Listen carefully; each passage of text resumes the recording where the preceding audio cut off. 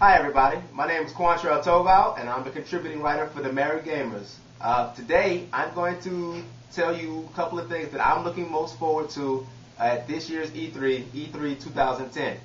Uh, I'm breaking out two categories, hardware and software.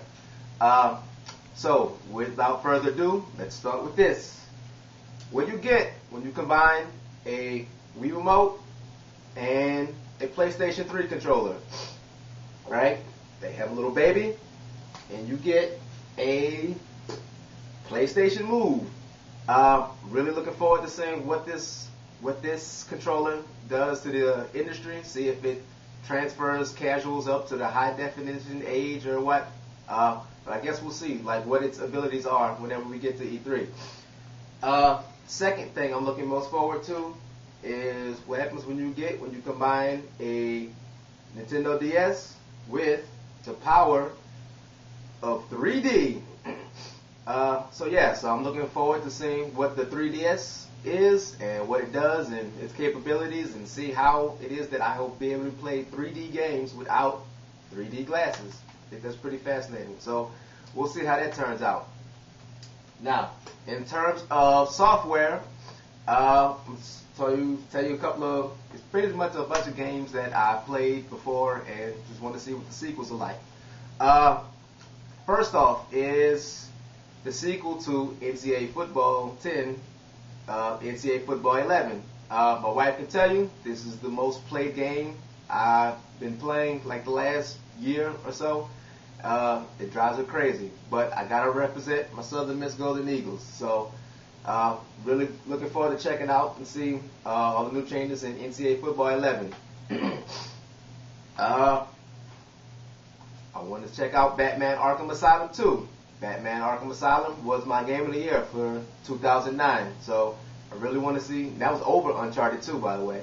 So I really want to see what's up with uh, Batman Arkham Asylum 2. And the last PlayStation 3 game I want to check out would be the sequel to Rock Band 2, which is Rock Band 3. Uh, we're hearing it's going to be new and innovative and stuff.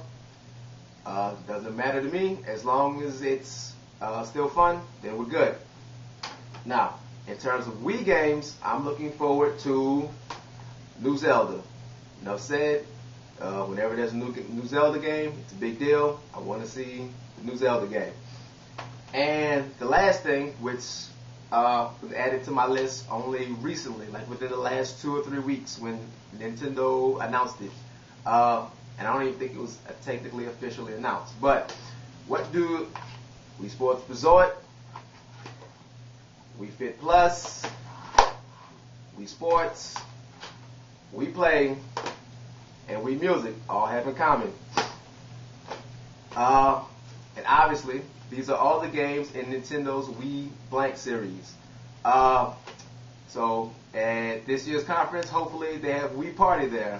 Uh, so I'm guessing it's probably going to be like Mario Party, but with Mii's, which is which I personally like. I like Mii's a lot better, a lot better, sorry, than uh, Mario characters. So looking forward to see if uh, Wii Party is there. Hopefully, if Nintendo's smart, they'll have online play and Wii Speak support so that I can play with my mother-in-law out in Mississippi from the comforts of my house here in Louisiana.